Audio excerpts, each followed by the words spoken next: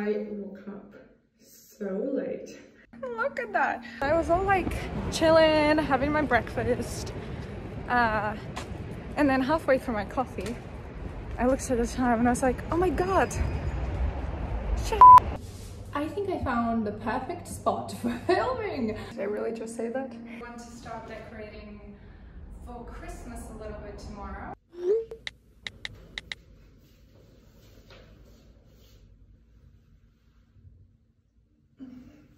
Oh, morning everyone. I woke up so late. It's currently 11.20 a.m.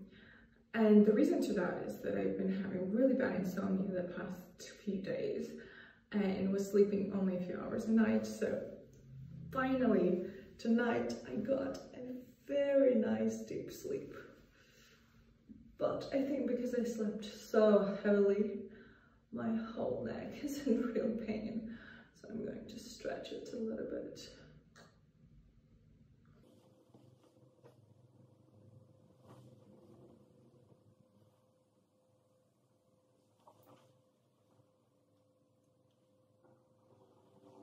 Okay, let's get started. So first part of the day is obviously skincare and let's brush this hair. I don't always brush my hair, like I don't brush it every day since I have short hair um, because sometimes if I spend a lot of time on styling it with a lot of mousse and things like that, then the next day it still sits really well so I don't touch it with a hairbrush because otherwise it just collapses. But when I had long hair, I had to brush it every single day. Uh, it would get very, very, very tangled otherwise. In the morning, I don't always wash my face. Actually, most of the time I don't. Sorry, cleanse my face. I do wash my face but just with uh, water. And I love cold, nice water to wake me up.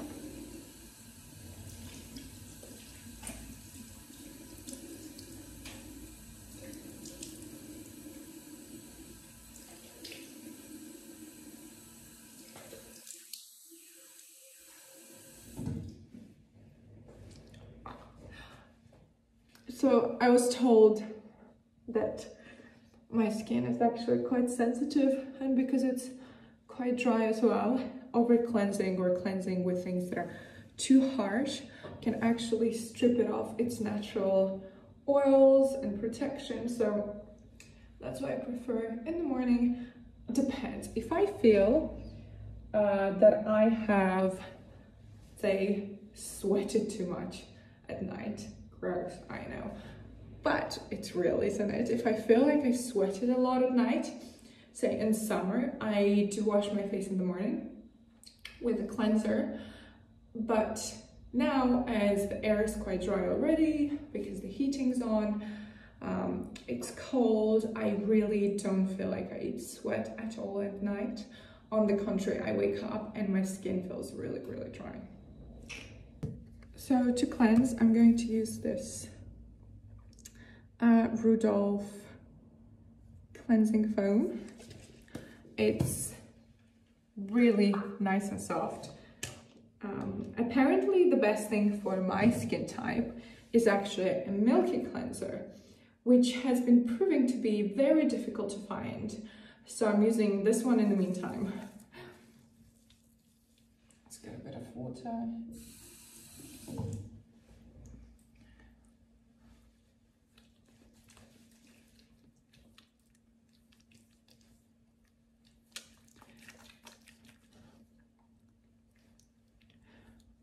Normally use the cleansing time as a moment to massage into my skin a bit as well. Okay, normally I'd clip my hair, I might do it after this, but now I forgot. I'm sorry, such a professional.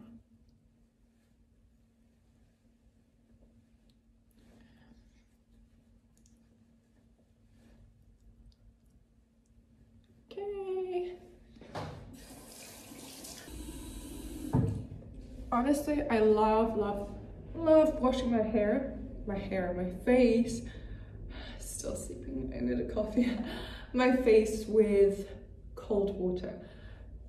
Evening, morning, actually in the evening in winter, I guess. A lot of the times I'm too cold, so I'll start with slightly warm water and then move towards colder water. But you should never wash your face with hot water. That's really bad. Especially I'm I have a slight tendency um, genetically towards rosacea. So water for rosacea is like the worst. We're in the kitchen. Sorry for that. That's my, uh, I can show you, that's my um, supplements shelf. Wait, I'm gonna show you. This, this is kind of it. Oh, there's this one. Wait, there's this one. so I kind of love, Daniel hates me for that because he likes kind of having everything put away, but I love having everything somewhere vis visible because otherwise I just never remember to take them. Um, maybe another day we can do like a, a, run through, for instance, the things I take. Oh, and here's some more chlorella, and here's my collagen. Yeah, I gotta have them all out. Gonna make some coffee.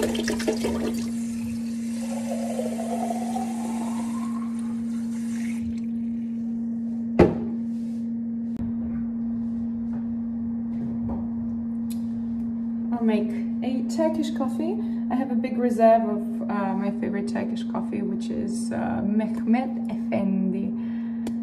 And, uh, you know, like, the, I think it's been about two years since I basically only started drinking Turkish coffee, uh, which was kind of great because I wanted to give up on my Nespresso anyways. I was using it very rarely for sustainability reasons. And then when I was using it, I was buying um, these biodegradable capsules, which, you know, great for nature, but I hated the taste of the coffee. Um, so I, so I, uh, yeah, I got into Turkish coffee. Actually, not got into because I have been loving Turkish coffee for many years. Uh, since I went back to, um, since I went back to Turkey and we visited Istanbul and I was drinking so much. What is happening with my hair? Oh my god. Um, when we were in Istanbul, I just fell in love with the taste. And coming from Eastern Europe, Turkish coffee is quite popular there as well. But when I was in Istanbul, I just really fell in love with it again. So I have wanted, had wanted to do it for years. And I just kept delaying it. And then I do remember I went maybe we were in Morocco and they also do Arabic coffee and I was like, no, that's it. I just love this type of coffee so much. I'm just gonna get a little copper, whatever this is called, and uh, start making my own. And, uh, and yeah, it's been, I think two years now. My relationship with Turkish coffee is going excellently well. But to be honest, normally I would not drink coffee on an empty stomach. And I used to for about a decade. And my mom would always tell me off because I have um, stomach issues. And I was always like, ah, whatever, I just don't believe you. And, uh, and you know, you get to that, and my doctor is telling me off as well. But then you get to that maturity kind of adulthood where there's nobody to tell you off anymore. So you start thinking, oh, you know, what's good in my life and what's not. So I started researching it because when I was drinking coffee on my empty stomach, I could feel that something really weird was happening. I just, my body wouldn't react nicely.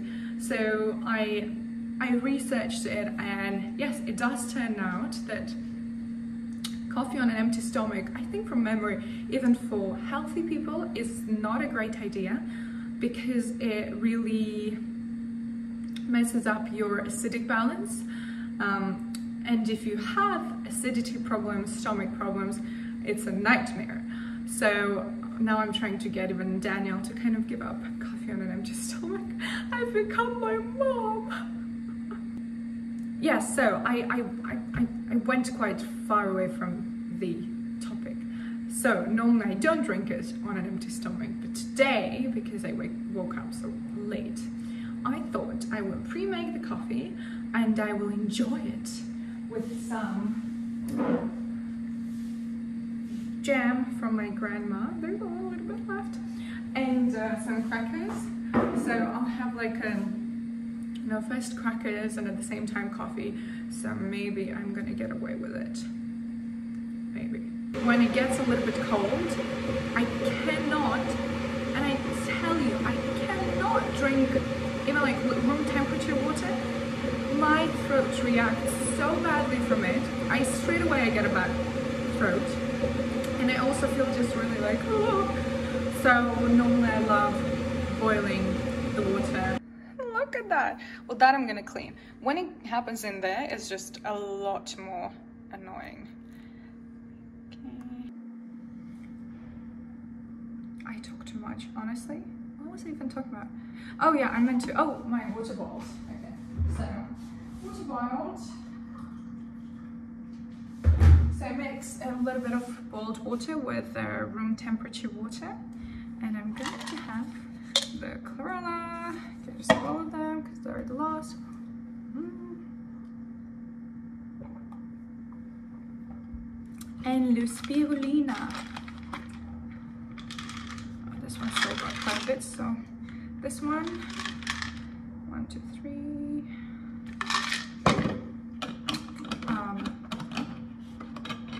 spirulina is like six pills and then the chlorella is eight because they're tinier.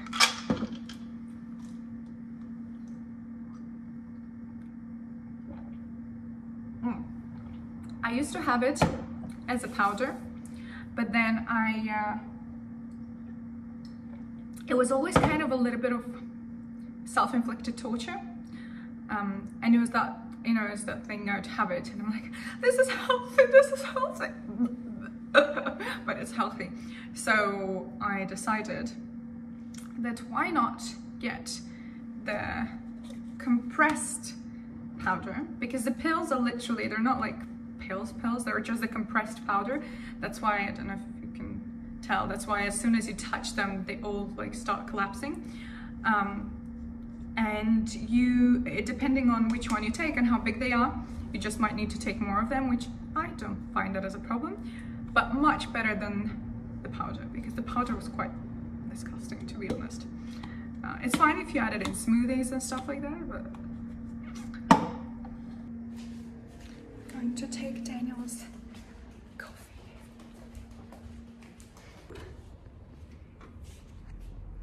Daniel? Oh, you're here. I brought you coffee. I'm vlogging, by the way, so don't be inappropriate. I brought you coffee. Thank you. I saw you coming in, so I went to sneak around. I, I know. I saw that. Guess it. I saw that. You could have still scared me. Boo!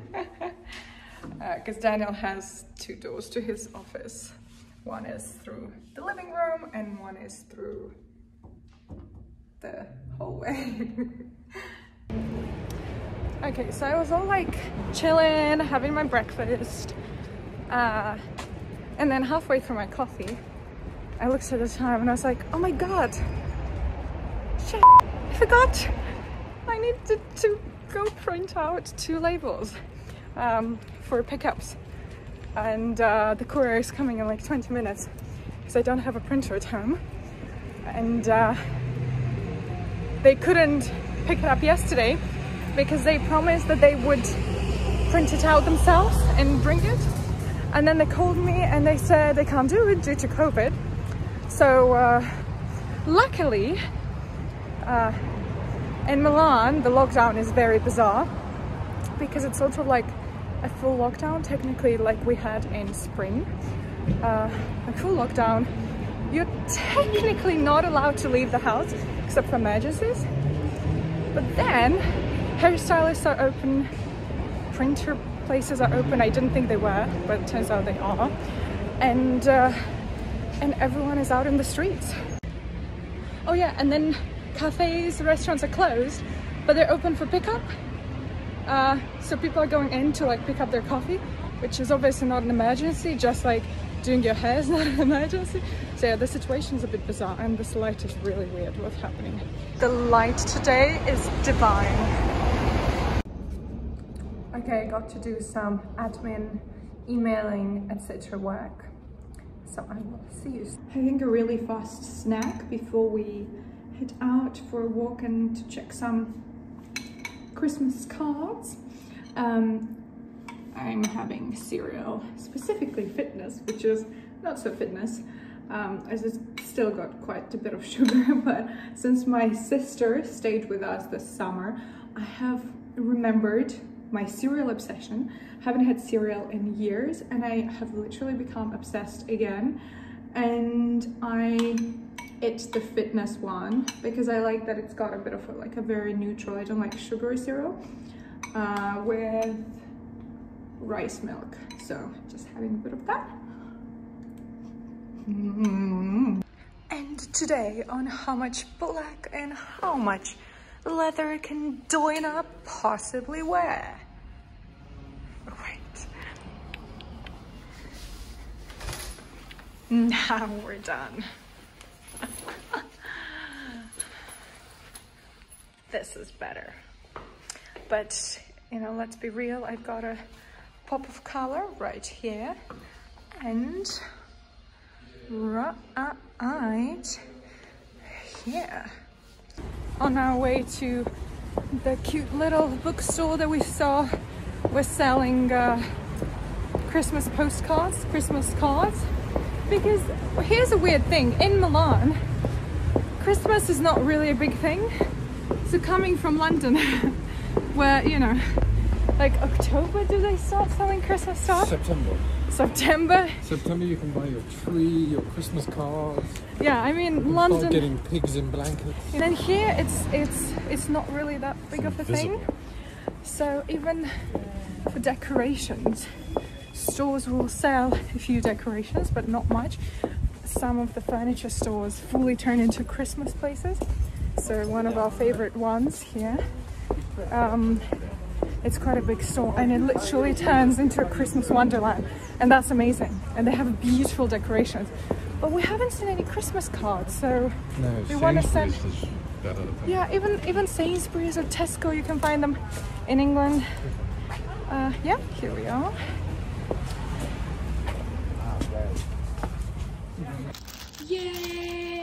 Found some Christmas cards. Here comes Santa Claus, here comes Santa Claus.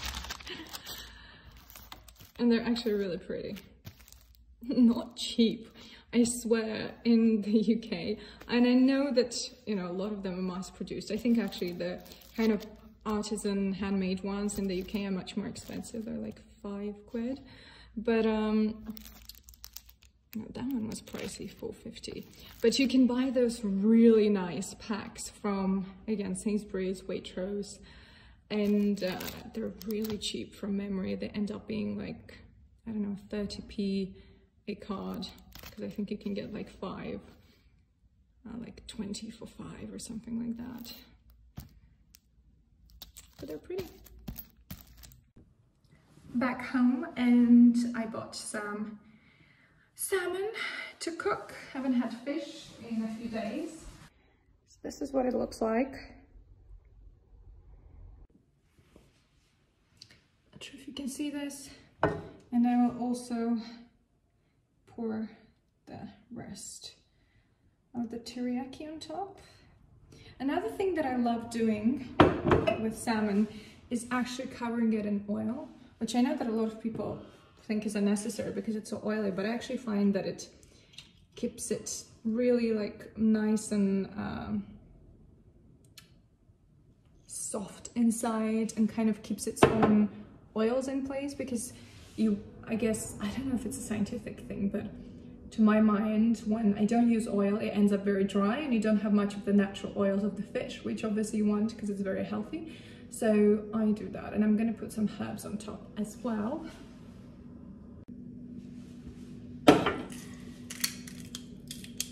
Some pepper and I feel like paprika, so do a bit of that as well.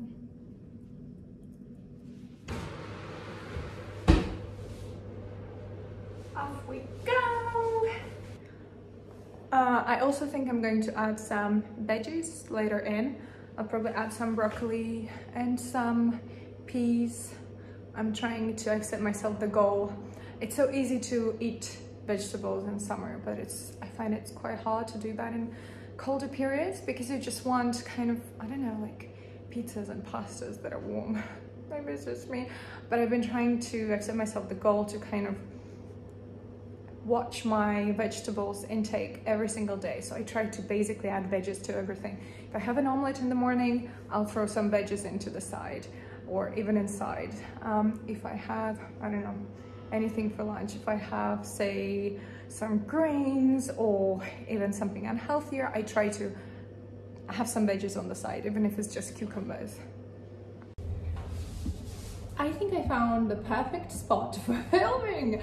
I hang it on this little hook that I have for uh, the cutting boards and it's actually perfect. So what I'm gonna do is I will put the rest of the salmon in here to marinate it and then we can have that tomorrow.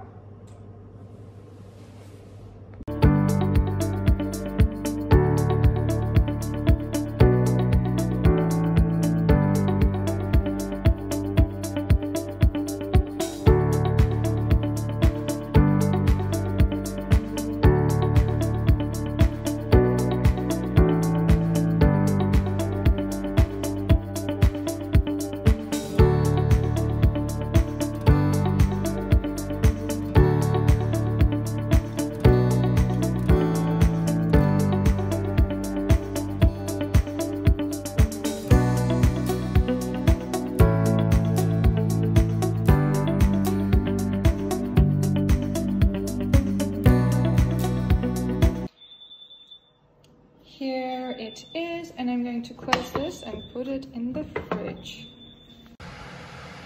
It's been 10 minutes, so I've added frozen broccoli, frozen asparagus, feta, and some basil on top, and I'll put this in for another 15 minutes.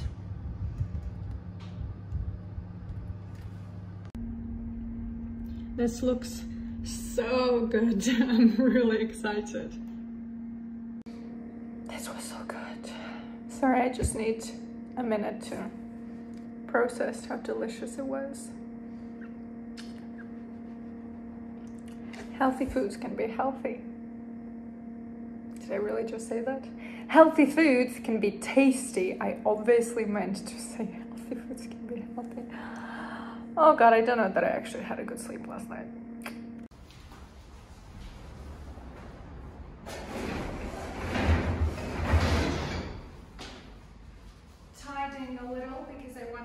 Decorating for Christmas a little bit tomorrow. And I need this dining table turned creative office turned construction site um, to be tidy and empty to be able to decorate. I finished siding the living room. I mean, sort of. This situation obviously needs fixing. Um, oh, that was my finger. Normally I have this on here, but in a slightly nicer manner. Maybe I need to move it a bit again. And I just need to get rid of uh, the mat, even though I really like having it out because whenever I walk past it, I remember to work out. So, but I'm, I have a, a fitting in the morning at home, so I, I do need to get rid of it. Evening from my bed, everyone. I have got my um, boiled water with just lemon, basically, so I can't really call it a tea. But this is the end of my day and the end of my first vlog, at least first new series of vlogs. I've never done like an at home vlog, so I guess you could call it first vlog. I'm going to entitle it first vlog number one. So please, um, wait, what am I meant to say? Um, please subscribe and please leave me thumbs up. Okay, this feels really silly. Please leave me thumbs up. Uh, and I will see you again tomorrow. I am really, really hopeful. You have to encourage me though. Like, keep harassing me with making everyday vlogs. I'll try to at least make them. I'll try to keep it every day. I can't guarantee. Anyways, I talk too much. Good night, and I will see you again tomorrow.